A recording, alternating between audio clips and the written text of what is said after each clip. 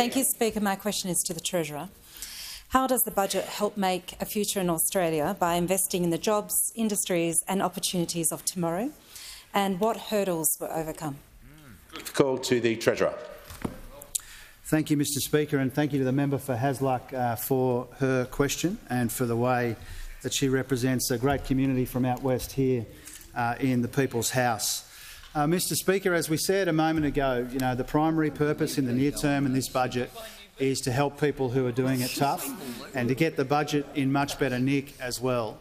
But one of the really important things about last night's budget is do doesn't neglect our responsibilities to the future. And the budget was all about a vision for making the most of this remarkable opportunity that we have as a country in our industry, in our energy, in our resources, in our skills base and as, an, as an attractive place for investment. The world is changing, Mr Speaker, and the pace of that change is accelerating and we need to change with it if our people are to be the primary beneficiaries, not victims, of all of that churn and change. And the global transition, the transformation to net zero, is the biggest change in the global economy since the Industrial Revolution. And our $22.7 billion Future Made in Australia package is all about maximising the opportunities that that will bring for every single part of the country, whether it's out west in the honourable member's community or indeed right around Australia, Mr Speaker.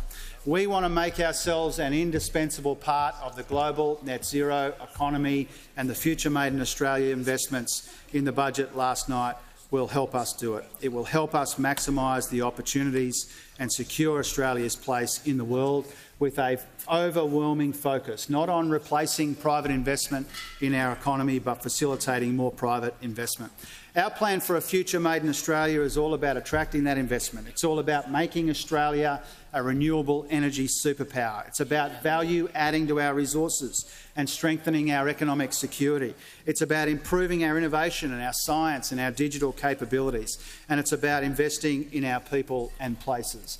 This is how we modernise our economy and maximise the opportunities of the future, and not for its own sake, but so that we can deliver a new generation of prosperity for more of our, more of our people, a future defined by good, secure, well-paid jobs, not just in some parts of our country, but right around our country, in our suburbs and regions, Mr Speaker. And that's why a future made in Australia is a big priority of this government, not at the expense of our efforts to ease cost of living or to get the budget in better nick, but in addition to that. And that's because we understand on this side of the House that we have generational responsibilities to our people to create a new generation of prosperity which is just as good as the past one, but which recognises the way that the world is changing and we need to change with it.